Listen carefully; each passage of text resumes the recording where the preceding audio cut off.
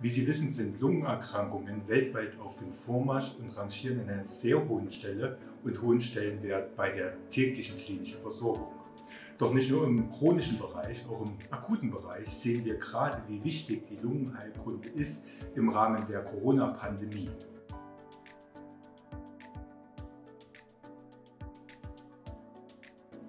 Unser Plan für Emden ist hier eine Klinik für Pneumologie und Beatmungsmedizin, die bereits vorhanden ist, weiter aufzubauen und auf einem sehr hohen Niveau zu betreiben.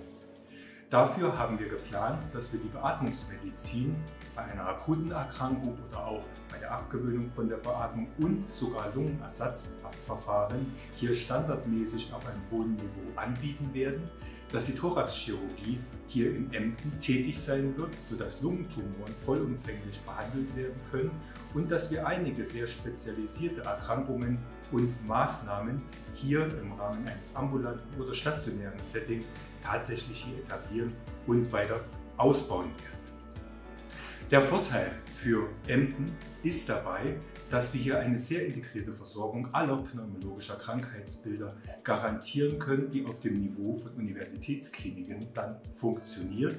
Das heißt, Sie werden hier eine hochspezialisierte Versorgung finden mit interventionellen bronchoskopischen Maßnahmen, thoraxchirurgischen Maßnahmen, Behandlungen von Komplikationen anderen Erkrankungen und sehr speziellen, in Zentren bisher nur etablierten Behandlungen von Krankheitsbildern.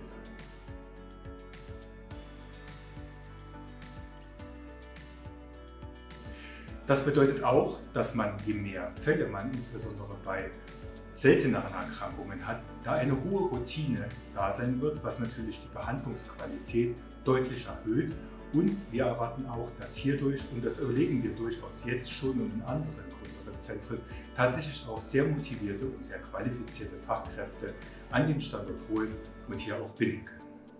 Deswegen bitte ich Sie, unser Vorhaben zu unterstützen der weiteren Entwicklung des Standortes, bis wir irgendwann das Zentralklinikum unser eigen Industriesland nennen können. Vielen Dank.